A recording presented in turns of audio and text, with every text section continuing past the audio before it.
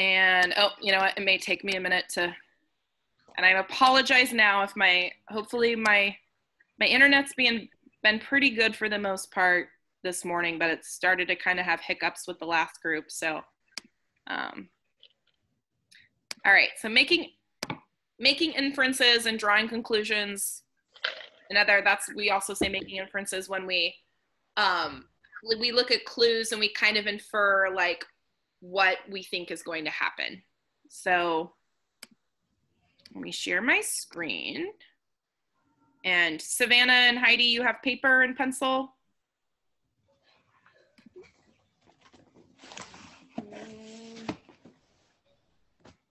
I need to go find. All right, go grab real quick. So you, oh no, well good. You have a minute because it's making me log in again. Yay. It shouldn't take too long. Here we go.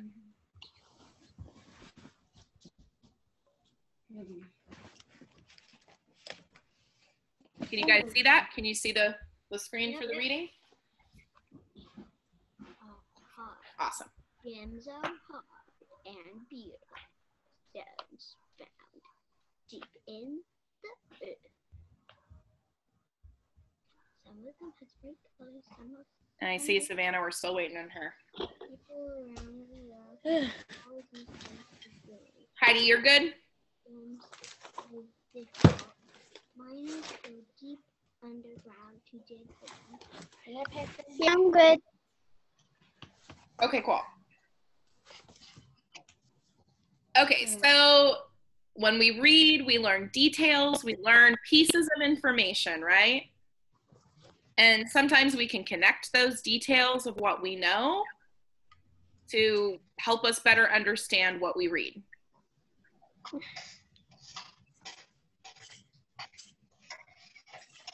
So, treasures from nature. If you if you want to follow along with me, I'm going to mute you, Savannah. found earth. Hard, beautiful stones found deep in earth. Some of them have bright colors, some sparkle and shine. People around the world have always used gems for jewelry. Oh, you were reading, Charlotte. I was just I didn't want to read over you. Do you are you guys good to read it on your own? You don't need me to read it, right? Um, I'm good. Okay. I'll give you a minute to, to read it over. Finding gems was very difficult. Miners go deep underground. Sometimes stones cheap and cut because smaller gems of.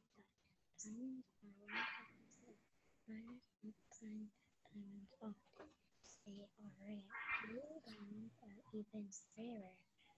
The hoop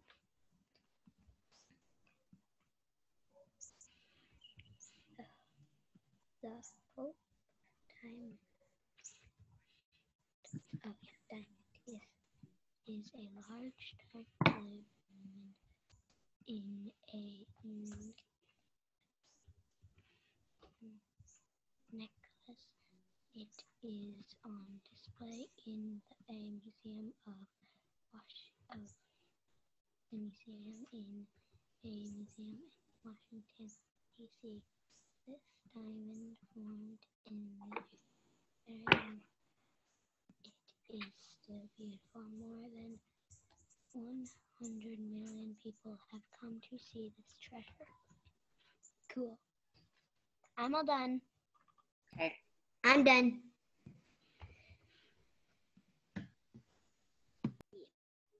I'm done. All right, guys, cool. Okay, so again, drawing inferences is making connections from what we read to what we already know. So, looking at paragraph one, why do you think that people always use gems for jewelry? It says people around the world have always used gems for jewelry. Some information, but why do you think that is? Why do you think people always use gems for jewelry? Charlotte. Um, because it says gems are hard and beautiful, so they're beautiful, and jewelry is beautiful. And if it drops, then like they're hard, so they won't break. And um, some have bright colors, some sparkle and shine. That's what it says. Yeah. So they're hard, so maybe they're durable. You know, you're gonna wear it, and it's not like if you accidentally hit your hand on something, it's just gonna break and that's it. Um, they're beautiful, different colors. They sparkle and shine, right? Jewelry is about what do we know about jewelry? It's about like kind of adorning yourself and, you know, bringing attention and, you know, looking lovely, right? Well, gems. So therefore, we could say like gems are are really pretty. They're beautiful to look at. So they're used for jewelry. All right. So paragraph two why do you think miners work so hard to find gems? Finding gems is very difficult. Miners go deep underground to dig for them. Sometimes the miners chip and cut at bigger rocks. They search for their smaller gems inside. Why do you think they work so hard? Hmm. So that's going to be like part of that taking. So we know we just read that they go really deep. They work really hard to find these gems. So that's the new information that you're going to connect to maybe some previous information and make an inference of why it, why do you think they work so hard?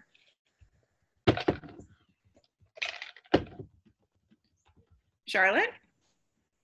Because they probably get paid for the job very well and um, because some miners may find it fun, and others, um, because also because um, gems are, um, not all of them are rare, but some of them can be very rare, like um, the blue diamond.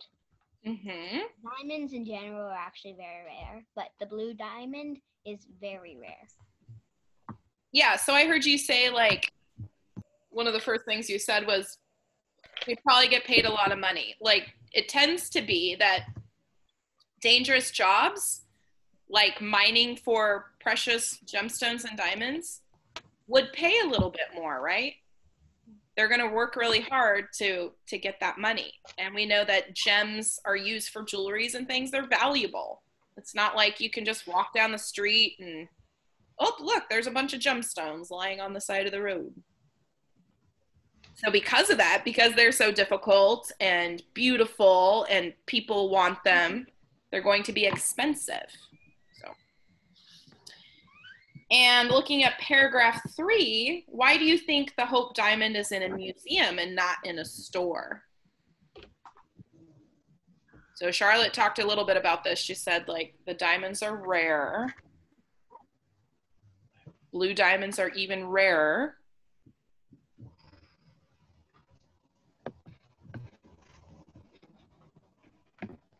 Hear from somebody other than Charlotte. Why do you think the Hope the Hope Diamond is in a museum and not in a store? Why isn't it why isn't it at a jewelry store on for sale?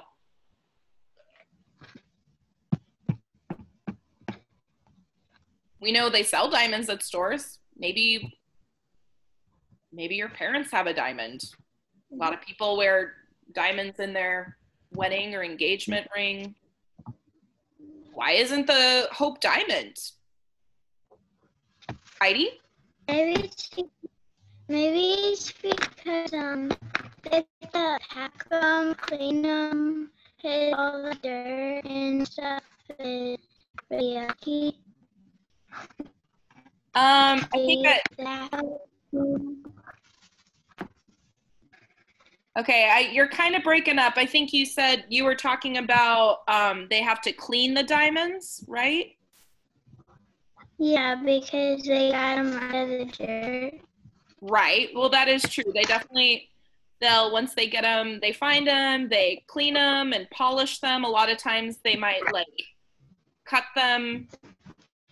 But why do you think uh, the Hope Diamond is in a museum and not at a store, Athena? Because there's not that much of them. It's really rare, right? What does that word rare mean? Charlotte? Not that much. Um, like valuable and you can't find it really anywhere else and it's like one of a kind. Right. So if it's like one of a kind, do you think that, I mean, let's say that the Hope Diamond was for sale. Do you think that it would be expensive or not so expensive? Expensive. It's going to be expensive. We could maybe draw the conclusion that it might be too expensive for most people to buy, right? hmm So if they had it in a store, it we could draw the conclusion that it could sit there in the store for all this time and never be purchased. And what else might happen if the Hope Diamond was at the store? What else could happen, Charlotte? It could get stolen. It could get stolen, right? In a museum, like I think it's in the does it say it says in a museum in Washington D.C. So it's I think it's on display in the Smithsonian, which is a very huge museum that's full. It has all the security and it's very much things very much protected because at the Smithsonian they have all kinds of very rare, valuable things that they keep safe there. So they want to. It's like this is so rare. They want to keep it safe, and then they've also made a way so people can see it. So we can kind of draw those conclusions of like, yeah, it's too expensive. People can't purchase it. So great job, guys. That's that's what it is to make inferences and draw conclusions. We take the information we know and we kind of like go a step further of like, oh yeah, well, gems are always used for jewelry because they're so beautiful and shiny and they're durable. Miners are going to dig for them because because they are valuable, they're going to make some money if they do it. If they find it, they're going to be able to get some money in return for that. All right. Good job. So let's do another one. And this time, oh, I forgot to turn it.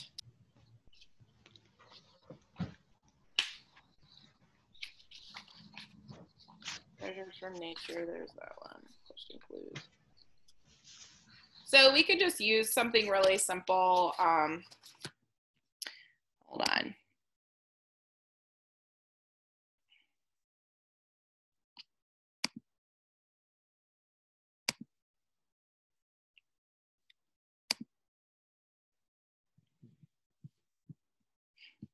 Hold on just a second. Sorry. I'm to pause.